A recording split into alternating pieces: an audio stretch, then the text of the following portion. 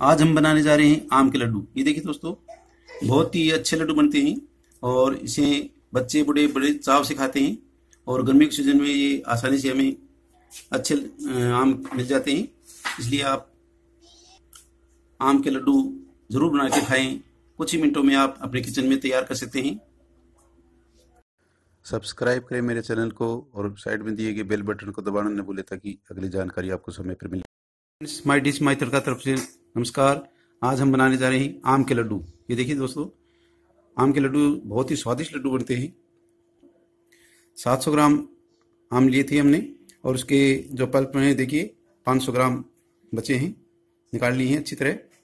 और ये देखिए, जिसके लिए सामग्री चाहिए, एक कटोरी चीनी ली है। और चीनी आप, आपकी आवश्यकता अनुसार ले सकते हैं। और थोड़ी इलायची पाउडर लिया है। और 200 ग्राम नारियल पाउडर लिया है। देखिए, सबसे पहले आम के पल्प में उनको जार में डालेंगे और ग्राइंड करेंगे।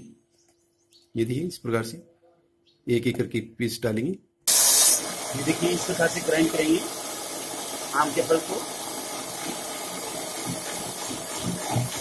ये देखिए दोस्तों, आम के पल्प को अच्छी तरह है, ग्राइंड कर लिया है। ये देखिए, सबसे पहले पैन में जो आम का घोल है, वो डालेंगे देखिए। ये देखिए, इसको अच्छे से मिलाएँगे। धीरे धीरे।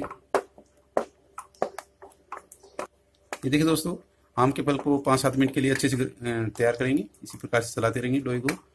ये देखिए, गैस का फ्लेम है जो मीडियम रखेंगे। उसके बाद चीनी डालेंगे। चीनी को भी अच्छे से मिलाएँगे। गैस का फ्लेम है जो हाई कर देंगे थोड़ा।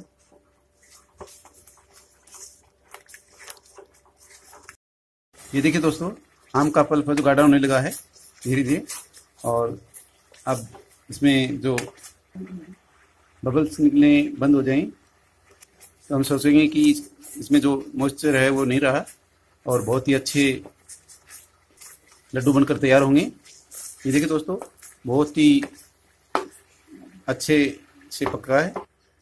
अब इसमें इलायची पाउडर डालेंगे। इसको भी अच्छे से मिलाएँगे दोस्तों। ये देखिए बच्चे बड़े चाव से खाते हैं, आम के लड्डू, और स्वास्थ्य के लिए बहुत ही लाभदायक होते हैं। ये देखिए दोस्तों, आम का पेस्ट है जो बहुत ही अच्छे से पक, तैयार हो गया है। अब गैस बंद कर देंगे। और पाँच सात मिनट के लिए इसको ठंडा होने देंगे। ये देखिए दोस्तों, आम के पल्प को ठंडा कर लिया है। अब इसके लड्डू बनाएँगे। बहुत ही अच्छा तैयार हुआ है। ये देखिए दोस्तों, अब इसके लड्डू बनाएँगे। बहुत ही अच्छे लड्डू बनेंगे। ये देखिए, हाथ के पहले थोड़ा घी का या तेल लगा लेना चाहिए ताकि चिपके नहीं। ये देखिए, आप अपनी आवश्यकता अनुसार इसकी साइज़ कर सकते हैं।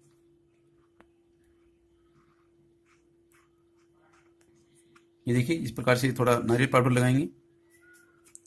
ये देखिए दोस्तों, इस प्रकार से एक एक एक करके और लड्डू बनाएँगे। बहुत ही आसानी से लड्डू बन रहे हैं। ये देखिए ये देखिए दोस्तों, आम के लड्डू बनकर तैयार हो चुके हैं। अब इसे आप अपने बच्चों को या मेहमानों को खिला सकते हैं। बहुत ही अच्छे लड्डू बने हैं।